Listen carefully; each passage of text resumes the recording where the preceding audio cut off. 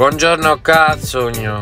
Ca, casugno amareggiato di mattina, amareggiato. Devo fare un appello ai monopattinisti. A così si dice monopattinisti, vabbè comunque.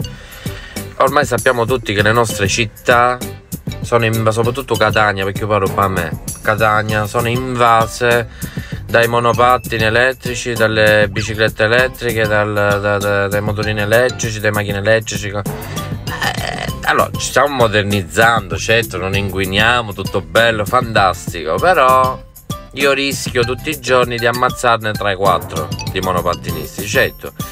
Perché gli sembra che loro sono in un mondo a parte, gli sembra che loro e diciamo per loro i segnali non valgono, segnali d'obbligo, segnali di divieto, la precedenza, un stop, un controsenso, niente, loro non guardano niente, dice io sono monopattinista quindi pin mia non vali niente. Vi volevo informare, cari signori, con uh, i mezzi elettrici, con uh, Cetto, che anche per voi valgono le cose, perché oltretutto non vi sentiamo, perché non c'è nessun rumore di, di, di, di accensione, di accelerazione, niente, non sentiamo niente, non vi vediamo e quindi rischiate seriamente che vi spezzano una gamba, che, che vi buttano sotto, compreso io, Cetto ma non volontariamente, ah, ci mancherebbe perché io vi amo, sono innamorato perché voi già pensate all'ambiente.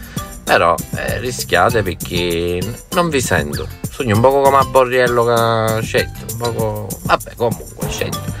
Vabbè, tra poco col conte quello che ha combinato ancora lì che è sempre per il regalo di mia cugina. Scusate lo sfogo, ma spero che qualche monopattinista mi ascolti e da oggi cominci a rispettare i segnali che regalano, regolano il codice da A dopo.